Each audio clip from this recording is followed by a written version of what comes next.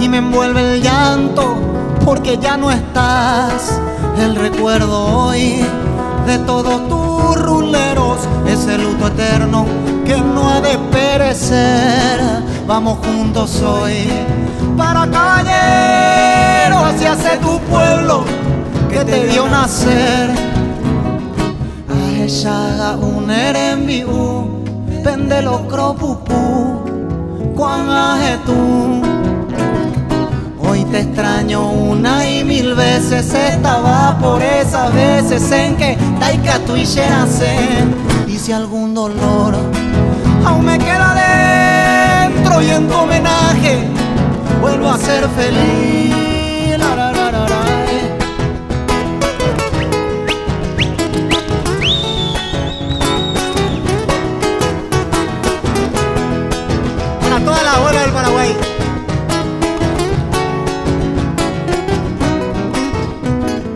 Hoy me entiende el que tuvo suerte de sentir ese cariño tan particular ahí, de esas manos de sol, de caricias sinceras, de comidas caseras y esas charlas eternas.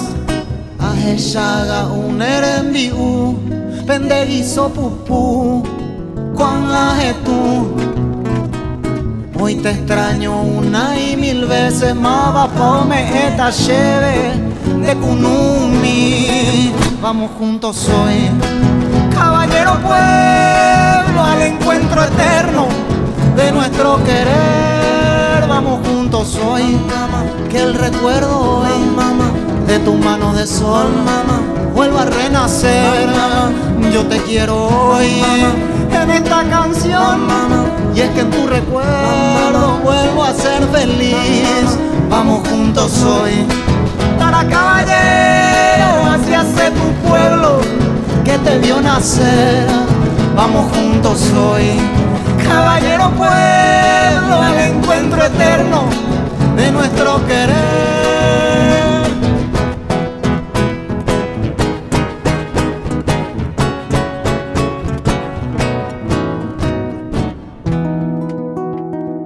En la ciudad de Hernandarias y ahora llegamos a un sitio donde se enseña a ejecutar el arpa. Así que vamos a pasar a conocerle un poco a esta gente.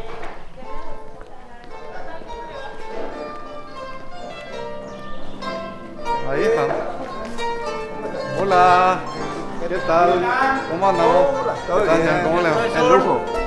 De vuelta. De vuelta. ¿Se fue? ¿Cómo estamos? Eduardo. Vos sos el profe. No, yo soy el presidente del Centro Cultural Tacurupucú Hernandaria. Presentate Eh, por favor con tu sí. nombre completo. ¿Qué tal? gente. Yo soy Eduardo Calonga, el presidente del Centro Cultural Tacurupucú Hernandaria. Tacurupucú. Tacurupucú de Tac- Hernandaria. Ahí está. ¿verdad? Centro Cultural. Centro Cultural. Tenemos 13 años de existencia. Ya como Centro Cultural empezamos con un grupo de danza y con el transcurrir del tiempo entramos con la escuela de arpa. Hoy tenemos una escuela de arpa, tenemos 22 alumnos 22 alumnos. y los chicos ya participaron en varios festivales nacionales y festivales internacionales. Ya estuvieron por Alemania, Francia y, y hace un mes atrás estuvieron en México. En México. Y nuestro profesor es el profesor Pedro. Pedro, vení para acá. ¿Cómo está, profe? Pedro. ¿Qué tal? ¿Cómo te va, profe? Todo bien. Bien, también, un gusto. ¿Hace cuántos años enseñás a ejecutar este bello instrumento? A la pinta, ese ya tengo casi 50 años de actividad. Con el arpa Con el arpa, ya empecé desde los 10 años. ¿Y cómo fue cuando empezaste? y- Porque normalmente pues el instrumento es pues. Eh. Después el instrumento, ¿verdad? Y un arpa es más caro Y todavía claro, la y en mi época yo toqué primero la guitarra. Mi, mi mamá y mi paca- papá cantaba. Eh. Y entonces me, me dijo mi papá, Empezaste con la guitarra. tocar la guitarra. Baracá. Maraca, y no toqué, pues no me gusta. ¿No te Me gustó? Y después no me gustó, nada. Y después me, me dijo que había un señor que quería vender un arpa. Eh, Eh, y comprarme ese dijo, Y me compró. a los 10 años. A los 10 años. Y yo soy, en, en esa época, yo soy de Itacurubí, de la cordillera. Ahí está Curubí. No había nadie que te enseñe por ahí. Entonces ¿Cómo yo- aprendiste? Y hay algunos requintistas por ahí que siempre conocen la posición del arpa. Tenían Este es una así, idea. Tenía una idea. Este Eh. es así, este es así. Y así empecé. Empecé y avancé ya luego. Y después mi papá ya me envió a Asunción con Lorenzo Leguizamón. Practiqué con él. De él aprendí muchísimas cosas. ¿Y te acuerdas cuál fue la primera canción que te salió? Bueno, y la primera, bueno, aquellos tiempos había liberal colorado nomás. Eh. Y mi papá era colorado. Sí. Bueno, yo quiero escuchar una música colorado. Y, Sí o sí. sí o sí, entonces Eh. empecé, empecé, le dije a don Lorenzo, Eh. enseñame que colorado, le dije. Y vos tenés que aprender colorado y campamento, me dijo. Eh. Si esos dos temas te salen, ya te va a salir todo de valor. Y después ya te dijeron seguro liberal, también tenés que Eh, eh, aprender. eh, claro, y después vine y en casa y toqué una canción y vino un amigo de papá que es liberal. Eh. Y yo también, don González, quiero escuchar mi música. Y Eh. yo no sabía. Y ahí Y de aprendiste ahí- la polca liberal claro, también. Y ahí me fui junto a don Lorenzo y aprendí. Le dije, enséñame que 18, porque si no me va a pegar todo. Mi papá me va a pegar. Le dije, tiene muchos amigos liberales. Le dije. Eh, Y había así que complacerle a todos. Eh, claro, como artista. Y a- ahora, por ejemplo, 18, Colorado, Cerro, Olimpia, Guaraní. Sí o sí, tiene que estar en los repertorios. Sí o sí. Sí. Y se tiene que hacer una selección. Y así ¿Y, es. y alguna guarania, profe? Y Guaraní, así. ¿Qué aprendiste? ¿Cuál fue esa que empezaste? Y fue. Aprender. Recuerdo de Pacaraí, es lo que Recuerdo de había ya Pacaraí. en aquellos tiempos ya había ya luego, su apogeo ya luego. Y Ese era el aprendí, tema. eh, eso era el tema. Y mis noches sin ti y eso. O sea que yo Sí. soy fanático de la guarania, ¿verdad? Y Mm. específicamente de, de mis noches sin ti, Eh, ¿verdad? claro, hermoso. Sí, acá está en el repertorio Eh, eso, tienen su repertorio los Eh, chicos. Nosotros acá en el tema del arpa eh, iniciamos hace eh, 15 años, 4 años atrás, cuando se hizo el récord Guinness, ¿verdad? Con el maestro Luis Aram, Sí. Sonido de la Tierra, y nosotros aquel, aquella oportunidad enviamos a cinco chicos, a cinco chicos para participar de ese evento, ¿verdad? Sí. Y, y ahora hubo un evento de, en Villa, en Ipacaraí, ahí ya enviamos 10 chicos ya, ¿verdad? Para, eh, en tres años doblamos de participación, ¿verdad? Y, y tuvimos también la satisfacción de conocerle a, a Albino Quiñones, ¿verdad? El primer arpista paraguayo que se fue a Europa después de la Segunda Guerra Mundial, en el año 1947, ¿verdad? El señor vive todavía en, Sal- en, en- en- Salto en Salto del Guaira, que es el abuelo de Marcelo Rojas. Ojeda, Marcelo Marcelo Ojeda. Ojeda, Y nos fuimos a hacer una entrevista con él y, y ahí de ahí vinieron los chicos con una energía tremenda. La experiencia que tuvo Don Albino con el embajador de Inglaterra, que le llevó a Paraguay, los paraguayos a Londres para la Olimpiada. Y ahí se formó el trío olímpico. Y entonces ese fue el primer arpista paraguayo que estuvo en Europa, que fue todo una, un, sistema de, ejecutar el arpa, porque el arpa es un instrumento tan universal que en, Europa se toca muy suave el arpa, ¿verdad? Y los paraguayos to- tocamos fuerte el arpa, ¿verdad? Y con este Félix Pérez Cardoso, que le adoptó más dos cuerdas del arpa paraguaya, y eso fue in- inmortalizó el arpa, ¿verdad? Entonces, el arpa paraguaya es el instrumento original, el instrumento simbólico de Paraguay, ¿eh? Es lo que representa realmente la música paraguaya. Y muy valorado y admirado por, por europeos, por orientales también, los japoneses son fanáticos. Sí, sí. Sí, Tenemos, tenemos arpa. amigos ahí, eh, ex alumnos del profesor, que está en Japón en este momento. Están, Yo escucho a japonesas Sí, que, sí, sí. que ejecutan el arpa. y la hija del- de, una, de un artesano paraguayo que está en Kawasu, Ignacio Cantero. Su hija está hace tres años en Japón, tiene un contrato de cada seis meses, ¿verdad? Viene seis meses, descansa y seis meses va, ¿verdad? Con el arpa. Con el Sí, arpa, con el arpa. con el arpa, ¿ya? Y es muy... Y los chicos acá, eh, tenemos chicos desde cinco años. que- ¿Qué edad, eh, ¿Desde qué edad, verdad? ¿Hasta qué edad?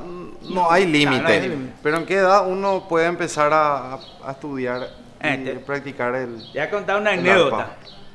Eh, vino un chico bien, bien chiquitito, el padre es un pastor, ¿verdad? Como en, el centro cultural Ah. es, eh, es una entidad eh, sin fines de lucro, sin, Sí. sin banderías políticas, sin credo. Viene el pastor y nos dice, Eh, y Catupio será que putar la popular arpa, ¿verdad? Y el profesor le mira así, ¿y cuál, cuál es tu hijo? Y este le dice, chiquitito así, ¿verdad? Mishimi. Eh. Y, y le, le dice, no, no hay problema. Eh, Déjale, vamos a ver qué podemos hacer con él. Ah, Y el pastor va a su casa y después a las cuatro y media viene, le busca, ¿verdad? Y, y le dice, ¿qué tal, Batecopio? Y sí, vamos, déjale, vamos, va, a tocar el arpa. ah. Y después contó el pastor la anécdota, que se fue la- a su casa, se fue al templo, se fue a, a orar y, y que el profesor aceptó para tocar. ¿verdad? Hoy ese chico está en Río, Río Grande do Sur y está haciendo el mayor suceso en las iglesias evangélicas, tocando arpa paraguaya en el Brasil. Imagínate. ¿verdad? Sí, y s- nos suele enviar los videos, de compartir con nosotros, con los chicos, ¿verdad? Y eso es una satisfacción para nosotros, ¿verdad? Que un semillero, un chico acá de Hernandarias, ¿verdad? Hoy estén eh, llevando nuestra, nuestro arte al, al Brasil. Y justamente nosotros cuando viajamos a la ciudad de Pilar, en la costanera de Pilar, estuvimos con varios artistas, ¿verdad? Y entre ellas una arpista que no recuerdo ahora el nombre, una pilarense que después se hizo muy conocida porque sal- salió tocando el tema despacito en, en, en Dubái, Mm, sí, ¿verdad? sí. Y ese tema, el video se viralizó bastante, ¿verdad? Y nosotros habíamos estado con ella en, en la costanera de Pilar, ¿verdad? Y la emoción de decir, mira, esa... eh, esa paraguaya a la que le hicimos una entrevista, ¿verdad? Sí, sí. Y cómo el mundo viralizó eh, el instrumento, ¿verdad? Sí. Si bien la canción es conocida, pero es, es la forma de, de- ejecutar el arpa que cautiva, ¿verdad?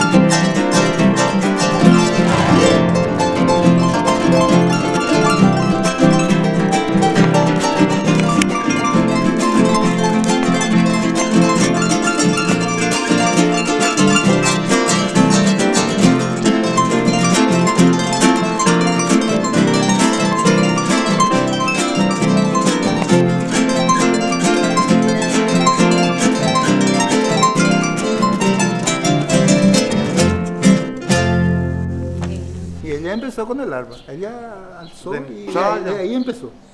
Después, una vez también en la, en la casa de María Antonieta, allá en Versalles, veo también un arpa paraguaya entre su, en su sala, ¿verdad? Que es un museo hoy, ¿verdad? Y llama mucho la atención, ¿verdad? Ver, ver el arpa ahí, ¿verdad?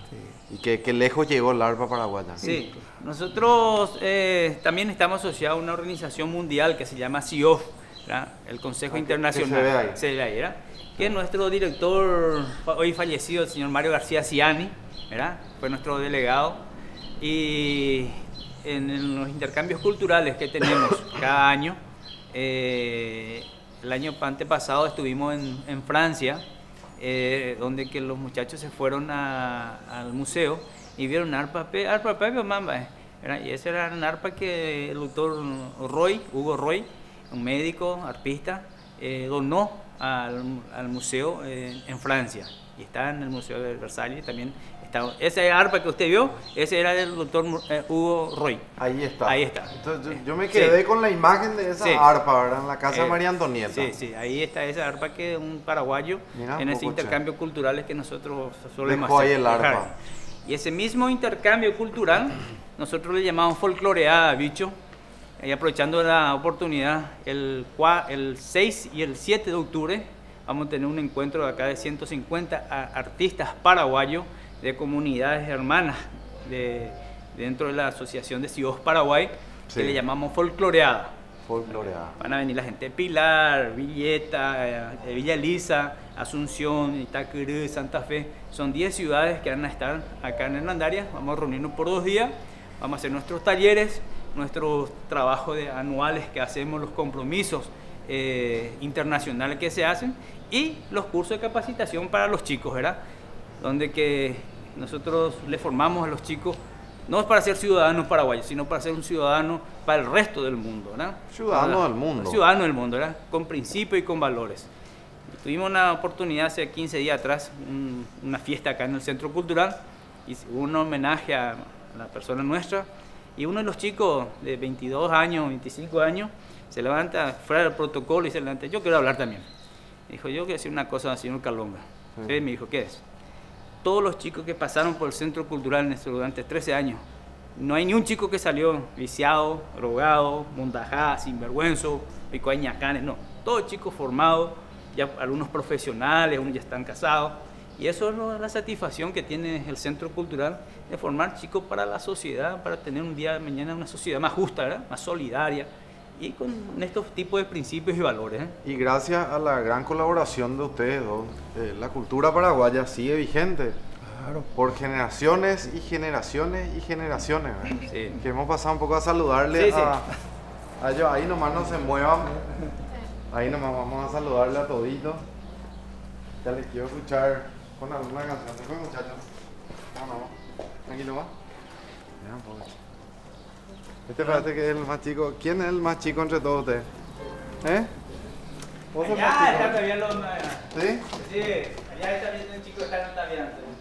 Bueno, ¿y quién, quién va a hablar entre ustedes? ¿Quién quiere hablar? ¿Ninguno? Dale, Dorito. ¿Eh? Sí, por favor, queremos escucharte un poco, que nos cuentes lo que es la experiencia de, de estudiar el arpa, compartir acá con, con tus amigos, con mis compañeritos. con tus compañeritos. y la verdad que tocar el arpa es una experiencia única. Para empezar a tocar el arpa ya te asustas luego por mirar sus cuerdas, así la cantidad que hay. Cantidad de cuerdas tiene. Nunca parece que vas a tocar. Pero después procesualmente con los ejercicios, un año de ejercicio, después ya, ya viene por añadiduría todo. Y es algo hermoso. Eh, Realmente. en 2015 tuve la oportunidad de viajar a Alemania con el arma. Y mm, ahí vos sentí que vos sos un paraguayo, vos, vos amás tu patria y cuando llegás casi en el colegio ya vos mirás la bandera y cantás más fuerte el himno, ya te gusta más. Después mirás un arpa, le ves a otro tocando, le ves a alguien bailando, vos ya sonreís. Además, la experiencia que, eh, que tuvimos en Alemania fue, fue única. Y ahora, en 2015, como estuvo comentando el director, estuvimos por México. Eh, con, con- a mí me eh, fui invitado eh, por la ciudad de Mingaguazú, que queda acá cerca. Y me, me invitaron como el artista del grupo. Entonces yo tocaba las músicas y los el- la academia bailaba, el grupo bailaba. Sí. Vos te vas. Ya me fui ya también como bailarín, porque soy también bailarín. Era, y, pero irte como un arpista te pone en otro escalón. Eh, y la gente eh, en muchas ocasiones se paran para aplaudirte. Y también hay- es una regla muy estricta es no pasar el tiempo y eso. Y la gente, el público, Salía y te pedían para que toque pájaro campana. Y nosotros ya no, no era más nuestro tiempo. Pero la gente pidió, entonces nosotros rompíamos las reglas y solo para tocar pájaro o campana.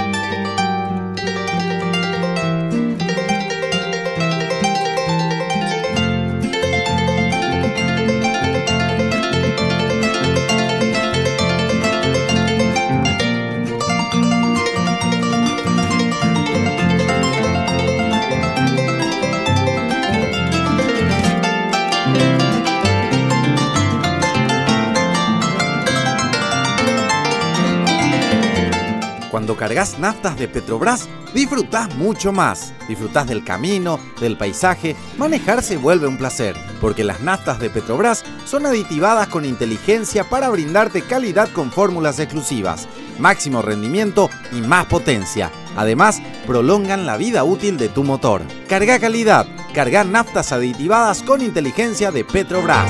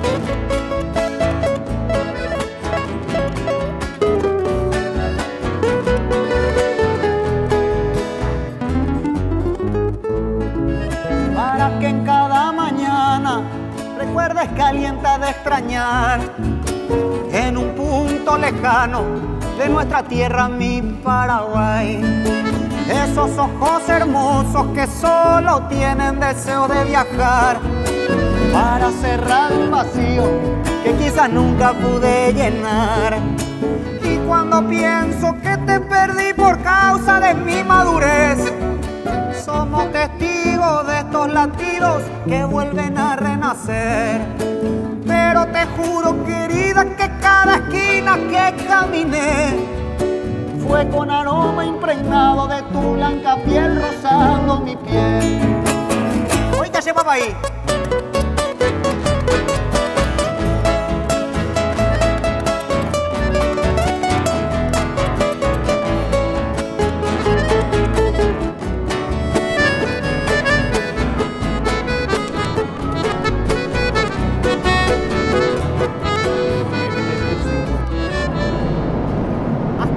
Vemos aquí es la presa principal. Vemos el agua del embalse ingresando por las tuberías de presión, cayendo hasta la rueda de la turbina. Da la vuelta de la turbina y sale expulsada a 40 metros bajo el espejo del agua. Acá se genera una energía potencial que pasa a ser una energía eh, cinética. Directamente se conecta con el rotor y aquí es donde se genera la energía eh, eléctrica. Directamente, eh, directamente enviamos la subestación blindada gas SF6 y de ahí sale para cada subestación. Este es el, el sistema como en Itaipú se genera la energía. Vemos que son partes y la turbina solo es una parte de la unidad generadora. Esta unidad tiene 27 metros de altura, equivale a un edificio de 9 pisos. Nosotros estamos aquí, en la tapa de cada unidad generadora, en la sala de máquinas. O sea, nosotros lo que vamos a caminar es encima de esto. Ahora estamos acá, vamos a pasar encima de esto. Decís que el agua sale 40 metros 40 por metros, debajo. sí. Y, y el Paraná se ve más o menos calmo, o sea, Sí, no, sí, no sí. se ve muy movido. No sé, se ve un poco de, de agua turbia en esta zona, justo en esta zona, ¿verdad? Pero después ya vuelve a ser más calmo. Es solamente porque sale acá expulsado, ¿verdad? Una expulsión de agua. ¿A qué velocidad más o menos?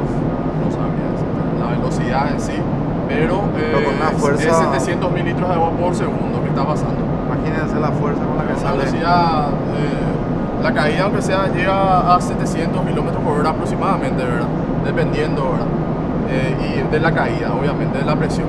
Para tener en cuenta nomás qué fuerte que es todo esto, ¿verdad? La construcción, sí, que obviamente. Eh, la estructura la sí. estructura, qué fuerza que Esta tiene para aguantar todo el agua. En esta presa nosotros vamos a estar descendiendo luego y a estar mostrando también de aquí. Esta es la cota 40, que es el lecho del río Paraná. De ahí se puede dimensionar la fuerza que tiene toda esta estructura. Siguiendo un poco con, el tema, esto es aquí, esta es la unidad generadora, son las partes de cada unidad generadora. Viene el agua y va hasta la caja espiral. Tenemos las predistribuidoras y las paletas distribuidoras y dentro de eso se encuentra la rueda de la turbina. Con esto se modifica la velocidad que tiene que ir, la que yo les estoy comentando, de 92.3 y 90.9 revoluciones por minuto. La turbina está conectada por el eje de la turbina directamente al eje inferior y al rotor. El rotor es la pieza más pesada de toda la unidad generadora y pesa 1760 toneladas. Pueden imaginarse, un vehículo de pequeño porte pesa una tonelada. Se necesitan 1760 vehículos de ese tamaño para igualar un, un rotor. Esto gira dentro del estator y es ahí donde se genera la energía eléctrica. Vamos a pasar entonces a la sala de máquinas. Tiene 968 metros de longitud, casi un kilómetro. Y están las 20 unidades generadoras. Las 20. Las 20 unidades generadoras. A ver, mira.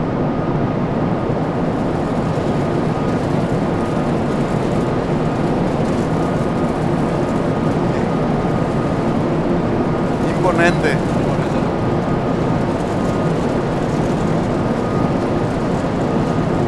Vemos que arriba, allá arriba se encuentran las grúas móviles. La PHB, por ejemplo, logra levantar hasta 2.000 toneladas cada una. Y esos son grúas móviles, como ya le dije, se mueven por todo el edificio. Todas las-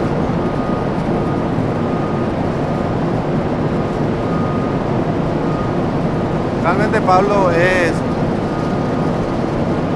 es sorprendente estar eh, en, en esta zona de, de Itaipú, ¿verdad? donde se puede eh, Dimensionar. uno imaginar la dimensión del Sí. lugar y, y la cantidad de energía que se genera en este lugar. Que quiero recordar de vuelta que nos decías en el bus que hay otras hidroeléctricas en el mundo, pero la que mayor genera. genera es Itaipú. Itaipú.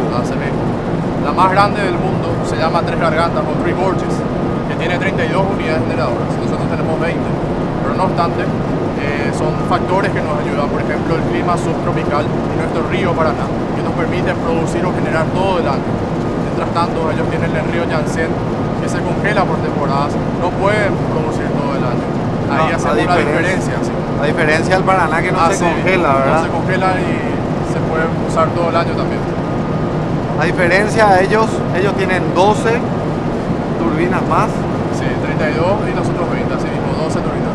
Y cada uno genera 700 megavatios, igual que la de Itaipú. Igual que la de Itaipú, ¿verdad? Cada, O cada sea, en ese caso estamos generadora- iguales con ese Sí, hidroeléctrico. con la producción de cada unidad generadora generamos lo mismo. Pero ellos tienen 32 y nosotros 20, es la diferencia. Como un 60% más grande, ¿verdad? Itaipú. Excelente, Pablo. Vamos a seguir entonces. Eh, acá ¿verdad? le voy a estar mencionando. ¿verdad? Si mi brazo fuera una unidad generadora, aquí se encuentra la turbina, el eje de la turbina, el eje inferior y el rotor. Esta es la parte de arriba. Nosotros vamos a irnos a ver el eje de la turbina. Nosotros estamos acá ahora. Nosotros estamos arriba de Vamos a el eje de. Hasta conozco cada manía que tienes al descansar. Tengo esperanza que algún día te sea fácil demostrar. En una copa de vino o en una cerveza te de extrañar. Tomar a tu lado con unas picadas ahí para acompañar. Y noches infinitas en una estrella de descansar. Los pensamientos los locos que cada día se vuelven a amar. Querida mi amiga, que cuando te desperté, será mi sombra como un abrigo como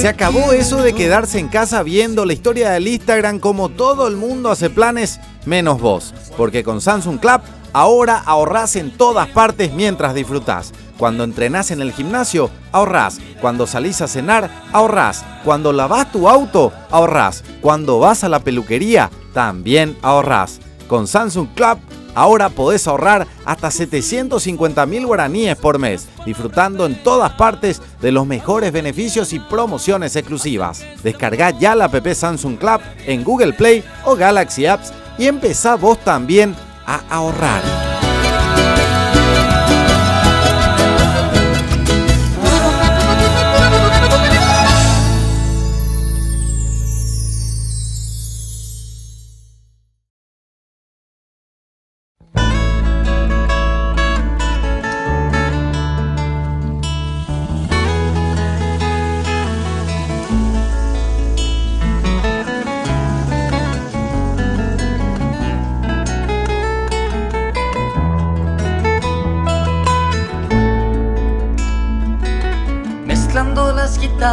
De Berta y canción Nacen estos arpegios de Ñandutí Con la sonrisa tibia de un río manso De Don Jacinto y su dulce canto Estironeando su mandilí Mezclando dos idiomas surge este canto.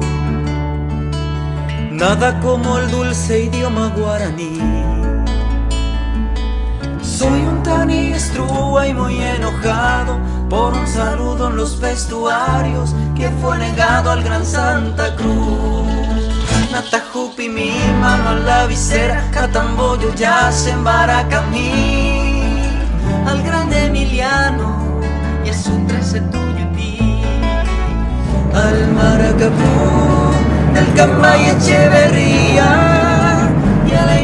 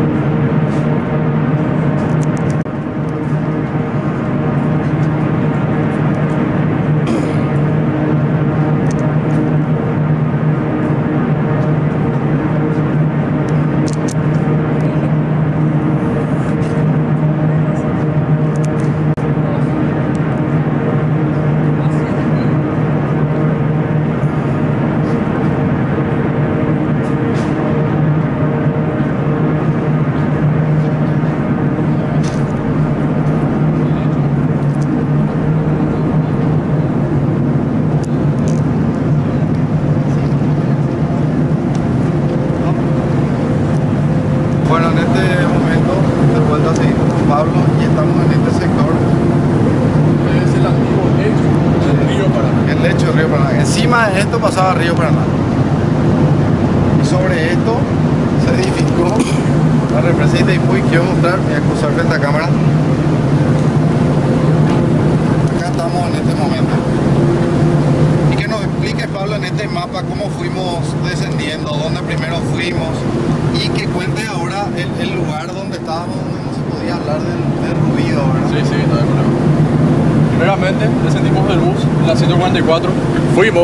Hasta la 108, la tapa de cada unidad generadora.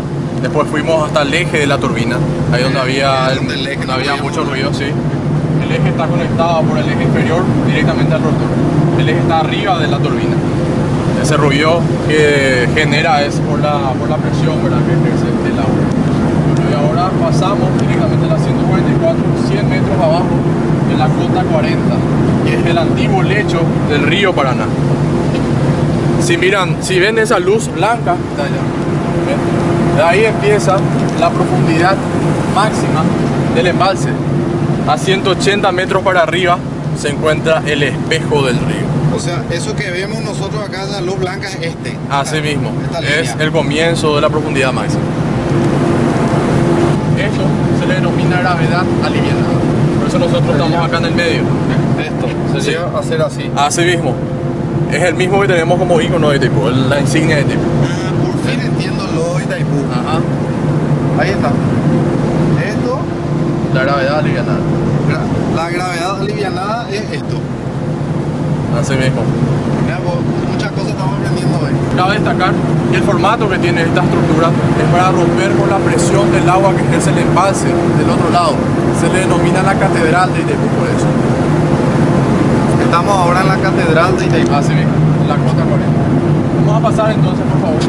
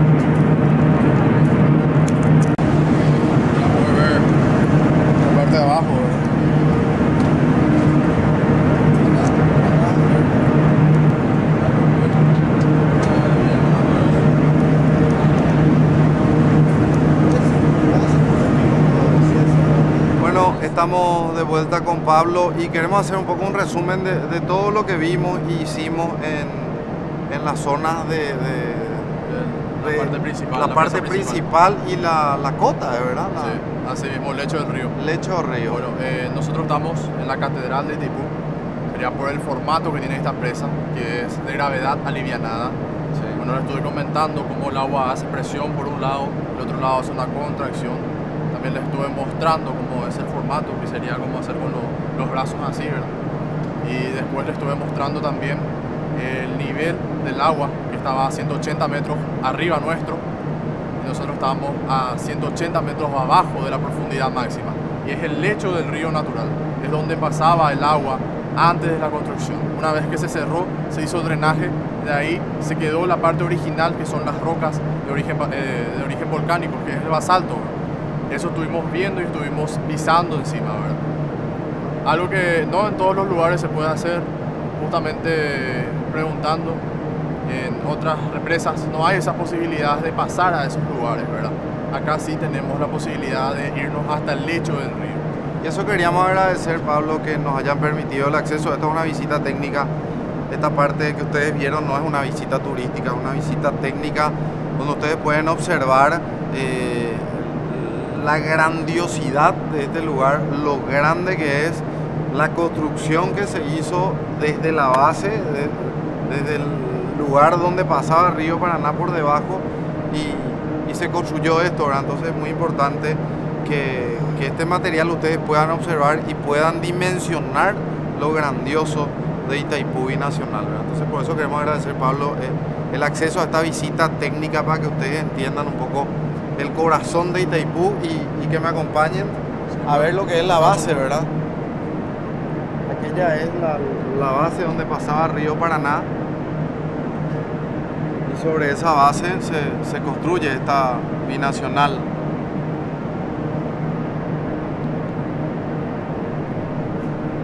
Así que Pablo, más que agradecido nosotros de, de poder tener esta información y que todas las personas puedan, puedan valorar lo que tenemos Así y mismo- puedan admirar así como nosotros estamos admirando. Así mismo como dijiste, para los que no, no pueden venir, ¿verdad? No, tienen, no tienen posibilidad de venir, pueden estar observando desde las cámaras, desde la televisión, ver todo lo que tenemos aquí en Itaipú, desde la base, desde el fundamento hasta la coronación de Itaipú.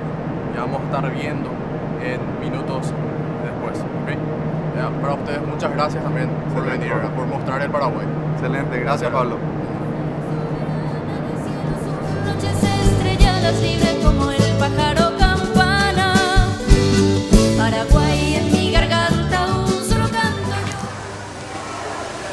Hora del baño.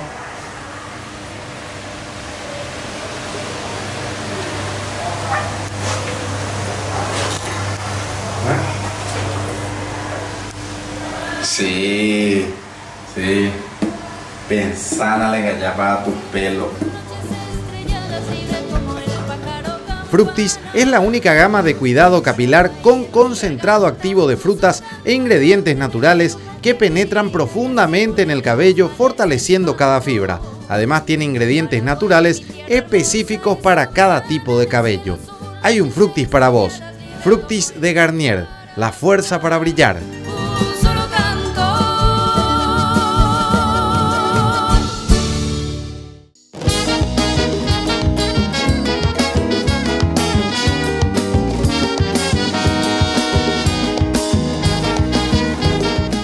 Cuando cargas naftas de Petrobras, disfrutás mucho más. Disfrutás del camino, del paisaje, manejar se vuelve un placer. Porque las naftas de Petrobras son aditivadas con inteligencia para brindarte calidad con fórmulas exclusivas, máximo rendimiento y más potencia. Además, prolongan la vida útil de tu motor. Carga calidad, carga naftas aditivadas con inteligencia de Petrobras.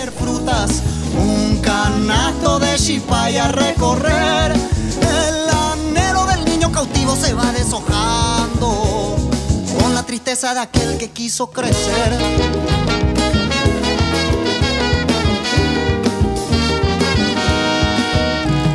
¿Cuánto más me tiene que suceder para evitar la ceguera en este menester? ¿Cuántos billetes valen hoy mi inocencia y la pureza de toda mi niñez? Hoy no queda otra que vender frutas, un canasto de chipaya a recorrer. El anhelo del niño cautivo se va deshojando. Ya me falta poco para las drogas perder.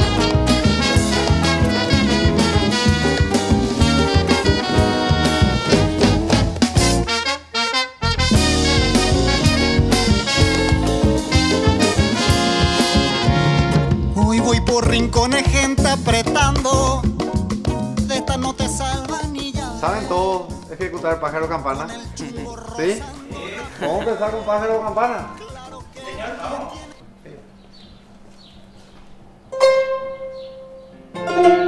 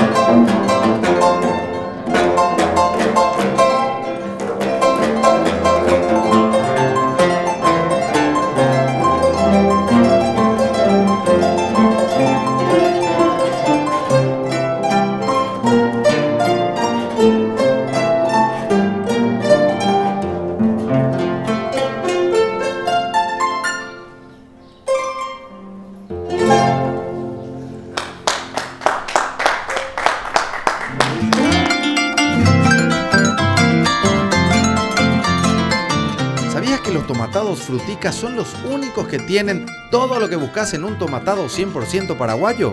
Esto es porque están elaborados sin conservantes ni colorantes, son libres de gluten y hasta te ofrecen una variedad baja en sodio. Tienen todo. Probá la línea de tomatados frutica. Tomate con todo.